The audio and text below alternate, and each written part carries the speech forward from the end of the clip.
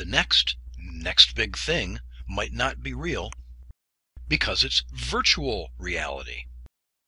There's plenty of talk about consumer VR as a market phenomenon, but surprisingly little as a psychological and cultural phenomenon.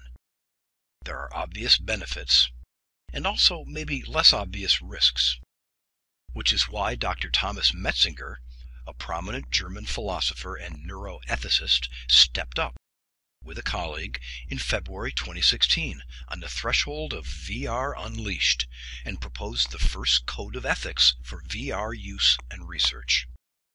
I'm Tom Nickel, and this was the first in a series of very short videos on the proposed code of ethics for VR. Making them is my way of thinking carefully about all the challenging ideas, less than one minute at a time.